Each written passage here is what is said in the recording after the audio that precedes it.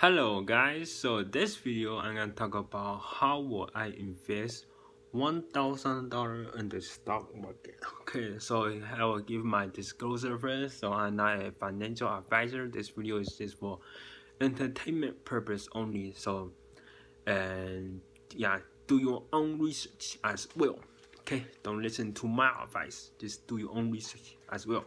Okay, so here's how I will invest uh, eight thousand dollar. Okay, so this I'm gonna assume that you are pretty young, probably like between the age eighteen to thirty five. So if you are in the in the age eighteen to thirty five, you are still pretty young. So we're gonna invest on a more little bit more risky stock or more growth stock. If you're old, no, you cannot do that because you're about into a retirement age. So you're gonna invest more on a stable stock. But right now we're young, so we got more. So the, the stock I'm going to pick is all growth stocks. Okay. So how I do it? I will uh, first pick Square for payment. Three shares currently is trading at seventy dollars, and Shake Shack for restaurant. One share of Shake Shack, one share of Roku, one share of Roku is nine for TV. Okay, Wayfair is e-commerce, so $123. Fitbit is my like a spec stock, just a speculation like this. I feel like it, just those kind of stocks. Just one share. Spec stocks you can you cannot not supposed to get more than like in my opinion you cannot get more than one percent of your portfolio. Just one share you'll be fine. So Spotify for music, $188 there. Skechers for shoes, this one share as well, $29 five below for like retail. So this is kind of like a dollar store retail five below but it's everything is five dollar and below is hundred and five dollars. TAL so that's like a after school touring class for China so that cover the international growth as well.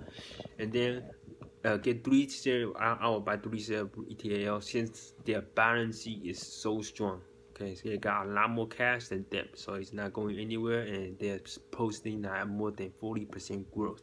So that's why I'm getting TAL. The last one is Walmart. The reason is, guys, is that this covers the grocery market for Walmart. The reason I'm buying Walmart is I think the CEO is like pretty much doing a good job transform transforming the um, the business model for Walmart they're like doing like online pick uh read online buy online pick up in store and then they have uh, they took, took a majority share in Flipkart to get the NDM market. Yeah, I think the CEO is doing a great job, so that's why. Um, plus, they pay dividend, so that will count as a dividend paying per, uh, stock on my portfolio, the one thousand dollar portfolio as well. So um, this portfolio basically covers all aspects of the US economy like e-commerce, groceries, shoes, TV, music, retail, touring class, payment, restaurant, everything, all aspects. So this so perform with the SP 500 or Nasdaq. Hopefully you can outperform it. I'm pretty sure you can as long as the economy is doing good because this portfolio is all growth stock okay? So it's i think it's gonna outperform it a little hopefully okay? Yeah so this is how i will invest uh, a thousand dollars okay? So if you want me to make any more videos then just let me know. Uh, it'd be great and awesome if you can leave me a comment.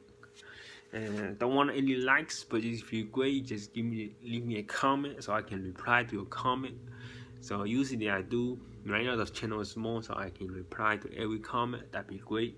And please subscribe as well. Thank you so much and see you in the next one